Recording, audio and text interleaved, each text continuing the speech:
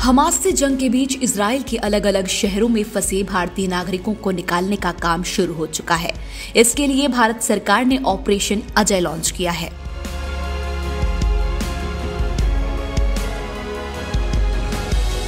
इस ऑपरेशन के तहत 212 भारतीयों को लेकर इसराइल के बेनगोरियन हवाई अड्डे से पहली फ़्लाइट दिल्ली पहुँच चुकी है। इजरायली समय के मुताबिक भारतीय नागरिकों से भरी इस फ़्लाइट ने रात को 9 बजे बेनगोरियन हवाई अड्डे से उड़ान भरी थी और ये एयर इंडिया का विमान शुक्रवार सुबह करीब 6 बजे भारत के दिल्ली पहुँच चुका है। दिल्ली एयरपोर्ट पर केंद्रीय मंत्री राजीव चंद्रशेखर ने भारतीय नागरिकों का स्वागत किया। बता दें कि भारत सरकार ने ऑपरेशन अजय को उन लोगों की मदद के लिए लॉन्च किया है जो इसराइल और हमास के बीच शुरू हुई जंग के बाद इसराइल में फंस गए हैं। दरअसल 7 अक्टूबर को जंग शुरू होने के बाद एयर इंडिया ने इसराइल से उड़ान भरने वाली अपनी सभी उड़ानों को तत्काल प्रभाव से बंद कर दिया था, जिसके कारण ऐसे कई भारतीय नागरिक इसराइल में फंस गए थे जिन्हें भारत लौटना था।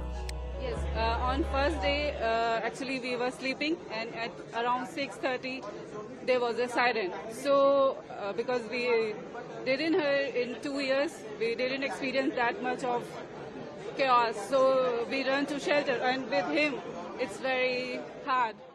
हमारा इंडियन गवर्नमेंट से सेकेंड डे से ही लाइक जैसे ही हुआ कि हाँ स्टार्ट हो गया है वो सब ग्रुप्स में वो लोग एक्टिव थे like in contact so they were like like cooperating with us या and giving all information, everything. And this was like smooth, it, like it was good, yeah. थोड़ा डर लगता है बच्ची के साथ फिर सेंटर में जाना होता है बसता है वो बसता है जब वो आता है रॉकेट तो बहुत डर लगता है इस वजह से यहाँ हम लोग सेफ़ है सबसे खास बात यह है कि ऑपरेशन अजय के तहत भारत सरकार जिन लोगों को इसराइल से लेकर आ रही है उनमें किसी तरह का कोई किराया नहीं लिया जा रहा है बता दें कि इसराइल में करीब अठारह हज़ार भारतीय मूल के लोग रहते हैं। इससे पहले भारतीय दूतावास ने विशेष उड़ान के लिए रजिस्टर्ड भारतीय नागरिकों की पहली खेप के बारे में ईमेल किया था। इसमें यह भी कहा गया था कि अगली उड़ान के बारे में रजिस्टर्ड लोगों को फिर से संदेश दिया जाएगा। ऑपरेशन अजय के बारे में इससे पहले विदेश मंत्री एस जयशंकर ने सोशल मीडिया पर पोस्ट किया था। उन्होंने कहा था कि सरकार ऑपरेशन अजय लॉन्च कर रही है। इसके ज़रिए उन भारतीय नागरिकों को इसराइल से वापस लाया जाएगा, जो लौटना चाहते हैं।